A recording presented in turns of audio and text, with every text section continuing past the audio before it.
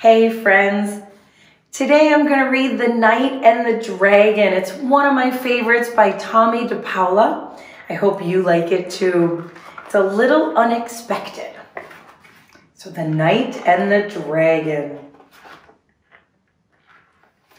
Once upon a time, there was a knight in a castle who had never fought a dragon. And in a cave not too far away was a dragon who had never fought a knight. One day, the knight went to the castle library and took out all of the books he could find on dragon fighting. Meanwhile, back at the cave, the dragon had rummaged through all the things from his ancestors and found some books on knight fighting. The knight began to build some armor. So he's melting metal, he's pouring it into a mold, and there, little by little, he makes a suit of armor. The dragon practiced swishing his tail. You see him? He's reading his book and then he's practicing. And look at that big smile. I think he likes his swishing tail. Meanwhile, back at the castle, the knight is making a sword and all kinds of tools, and he painted his shield. He looks like he's ready. And meanwhile, back at the cave, look at that dragon. He's practicing in a mirror. How fierce can he look? He's ferocious.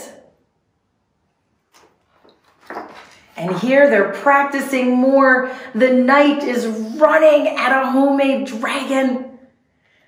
And what happens? He runs, he runs, he runs, and he misses it. And he ends up in a tree. And the dragon is practicing running at his straw knight. And it looks like he too misses his mark. Oh, look at them here. But finally, the knight got the dragon. And the dragon, look at all those knights. He looks so pleased with himself. Finally, the knight and the dragon were both ready. They sent each other a letter and set a time for the fight. And here they go. They're charging at each other. The dragon is charging, the knight is charging, and whoa, they miss. They run right past each other. Okay, they're gonna try again.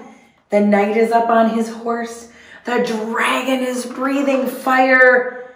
And, oh no, they miss again. The dragon ended up in a pond and the knight ends up in a tree.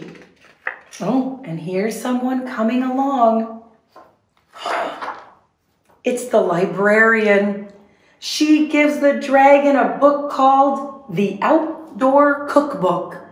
And she gives the knight a book called How to Build a Barbecue.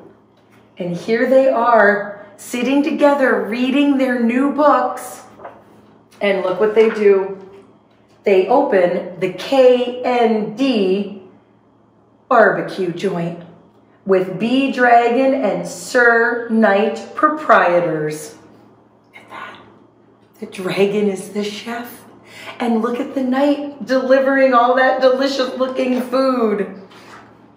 The end. I love this one because one, the librarian sort of saved the day, didn't she? And I really like librarians.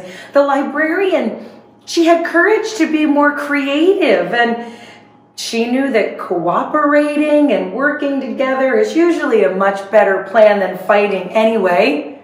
And now look at that. They have a successful restaurant and a new friend.